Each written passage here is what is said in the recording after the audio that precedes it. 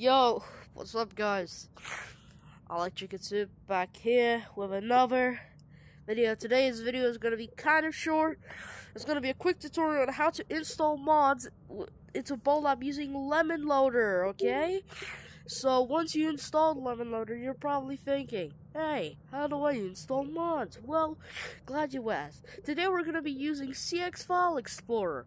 I do not know if the mobile VR station works. So, like, yeah, you can try, but I don't know if it'll work, okay? So we go to CX File Explorer and we go here, sorry if I sound a bit congested because I'm because I'm ill.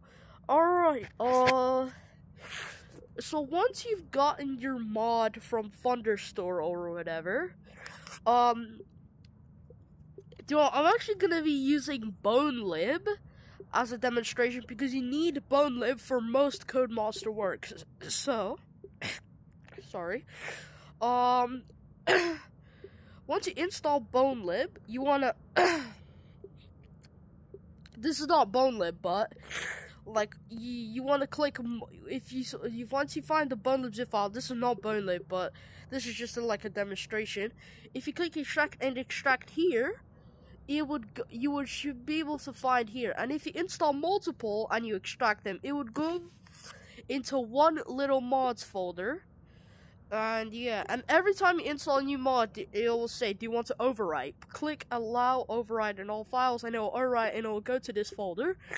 And this is where you'll find everything. So here you would find, but you you would get actually a multiple DLLs you would get a BoneLib DLL and a and you would get a bone BoneLib updater DLL. Or or if you just find a DLL, every DLL file has to be extracted or it won't work. So every DLL that you find in BoneLib or any mod, you have to extract that DLL.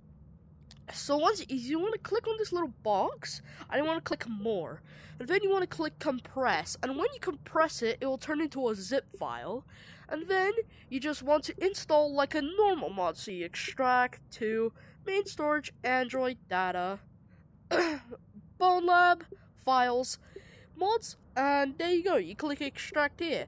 Well, I don't need to extract because I don't need to, but that is how you do it. And once you install BoneLib, pretty much all of your mods will, er, all of the mods you install will work normally. Some mods may require audio import lib. It works just like BoneLib. So you extract the zip file, press extract here, and you it would go to like this mods folder or just find it in and just try to find a DLL. Then you compress it by clicking on the little DLL box, and then you yeah, and you click more, and then you click compress turn it to a zip file, and then put it in the BoneLab mods folder. Also, when you install, uh, when you extract the BoneLib, you would get this BoneLib XML file. Do not extract this because this does not work with uh, Lemon Loaders. So, for, you can forget this file. This file doesn't mean anything. You only want the DLL files. Um, you should get two files with BoneLib. So if I go to Oh, sorry, I have stick drift, so Android data, BoneLab, files, mods, and there you go, Bone BoneLib updater DLL. This should come with the BoneLib. If it doesn't, yeah, you just want to find these two DLLs. You you do don't do them twice at the same time. Do each one separately. Don't don't click on both and extract them only do one at a time because it won't work that way. So yeah, so let's break it break it down. So once you install the mod, you want to extract it here. Then you find the DLL, you compress it into a zip, and then you take that zip file and you take it to your BoneLab to to main storage, Android data, Bone Lab files, and you find the mods folder bada bing, bada boom, and now you have now you have mods. I hope this guy I hope this guy's helped you out a lot.